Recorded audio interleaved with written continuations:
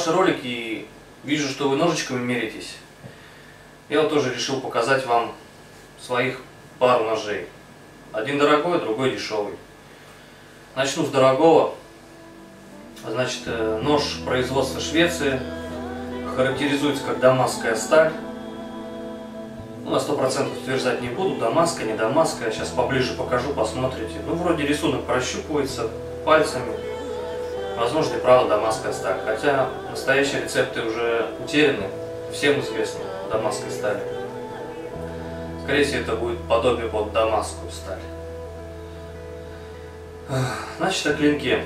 Фирма-производитель, возможно, неправильно прочитаю, Карсуланда, нож Хунтер Дамаск, название его. Общая длина ножа 210 миллиметров, клинок 100 миллиметров, то есть 10 сантиметров. Толщина клинка 3 миллиметра в обухе. Значит, э, материал рукояти карельская береза, вставки оленей рог и вставка эмблема фирмы тоже оленей рог. Корда латунь. Нож легкий, весит всего лишь э, по его сертификату 101 грамм. Довольно-таки маневренный, очень легкий, как пушинка. Я ему обрабатывал Э, что меня смутило, я, честно говоря, пожалел, что я не взял все-таки F1, а у меня стоял выбор или взять этот нож, или F1, фолнамент на F1. Мечтаю, конечно, взять фолнамент F3 этой короны. Очень, очень хочу такой нож. Может быть, нужно было добавить 100 евро и, купить три короны.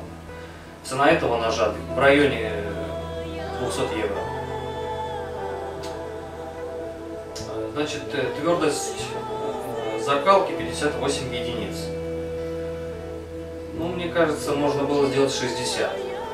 Потому что я им обработал пол лося, пол кабана, и он уже сел. Почему именно пол? Потому что вдвоем с другом просто обрабатывали. Он работал ножом F1, фолнамент, а я этим. Ну, на лосе мы с ним прям одинаково шли по скорости. А вот на кабанчике он уже меня начал обгонять и мой нож сел, и все.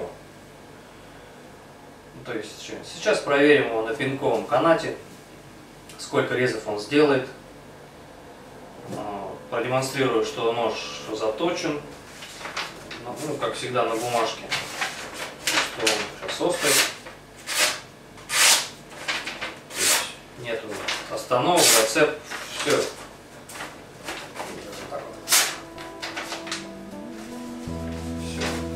Ну, в принципе, общие характеристики рассказал.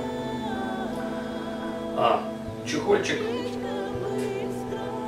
Чистая кожа. Чуть-чуть болтается, но не выпадет. Даже при беге. Довольно-таки плотно. Ну, можно чуть-чуть еще обтянуть. Но, думаю, не выпадет, даже если так выпадает. Это минус. Ну что, перейдем в режим макро.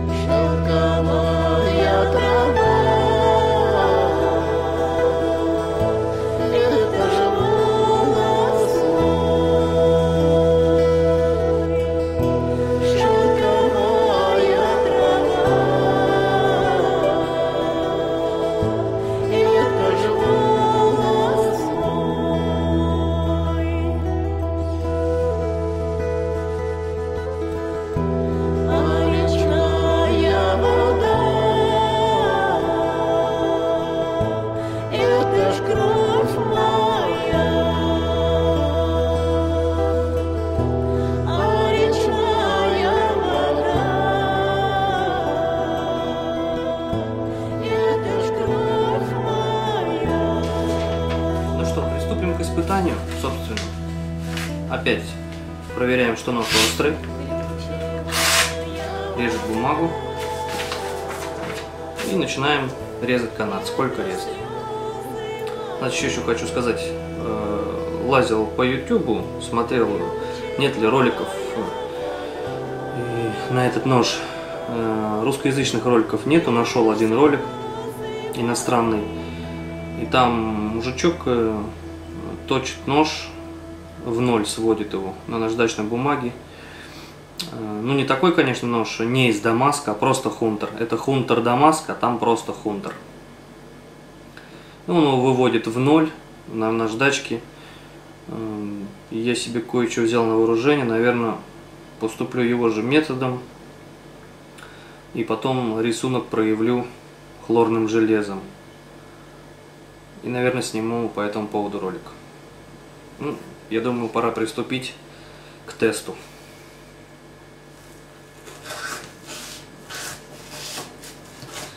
С одного реза не получается. Скорее всего, я не понимаю, почему. То ли клинок толстенький, прям не дает его резать с одного реза. Ну, резать. Как-то у него там застревает. Канат обмотан скотчем, чтобы не крошился. Так, два реза сделали. Три реза сделали. Ну, довольно-таки тяжеловато режет. Ну не то, что вроде рез такой агрессивный чувствуется, но как-то он вязнет в нем, что ли. Так, три. Четыре. Пять. Шесть. Семь.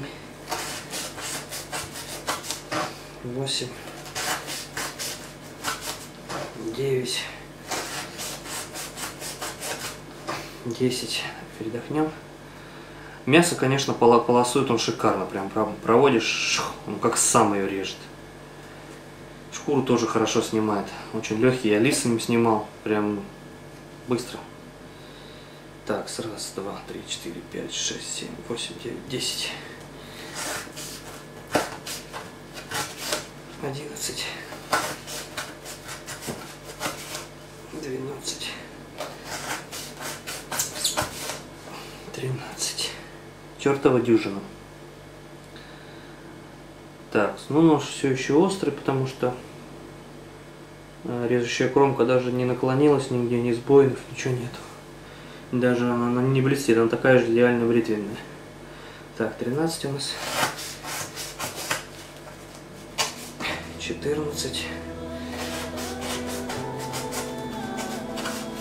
15. 17,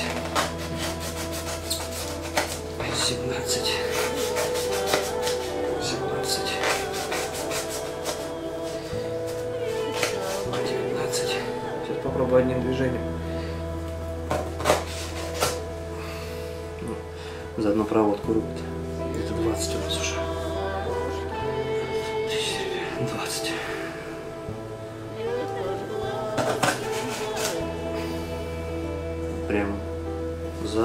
Поводку. 23. Вперед. Вот у него, скорее всего, носик намного тупей, чем перед. Надо носик тоже выводить. Так, 24. Ну, до этого нож брил. Проверим. Да, он и сейчас бреет. До сих пор бреет носик. Ну и носик тоже бреет. Ну, 23 реза, и он еще даже не сел. И у него вообще нету намека на это. И зря его хаял. Слушайте, это у меня ошибочное какое-то мнение. Может быть, может быть, когда я разделал лося, там все в попыхах делалось зимой, руки мерзли. Возможно, где-то я бил по костям. Ну, не специально в смысле, а в спешке.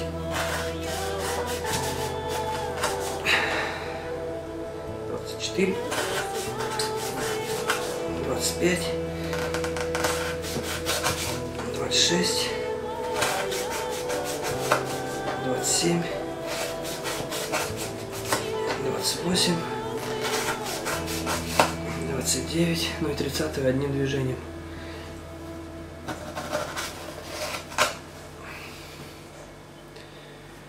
Ну, в принципе, смотрим. Нет, ножа вообще нигде не появилось на режущей кромке, даже блесков, замятин. Потому что когда нож севший, его сразу видно.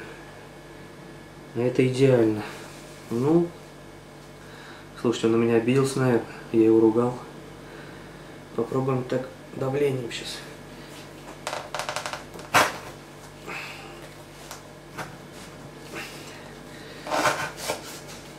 Может быть, я что-то неправильно делаю. Это первый обзор ножа. Это я на вас насмотрелся, мне тоже захотелось вам показать. Ну, 31 рез. И у него идеальная кромка.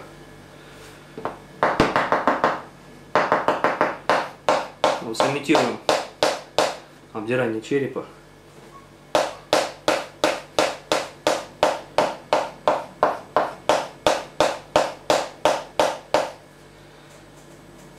Доска бамбуковая. Ну слушайте, нет завалов. Нет, не знаю, видно вам, не видно будет. Нету завала по кромке. Вообще нету.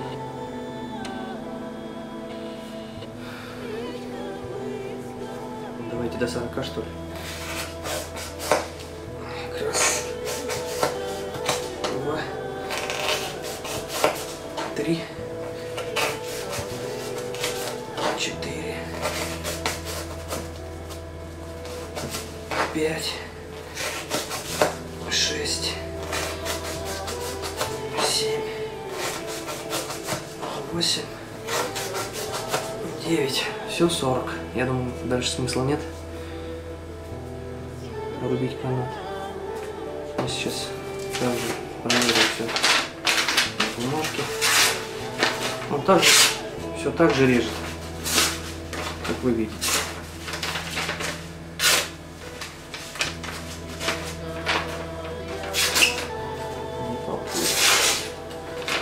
Режет, режет.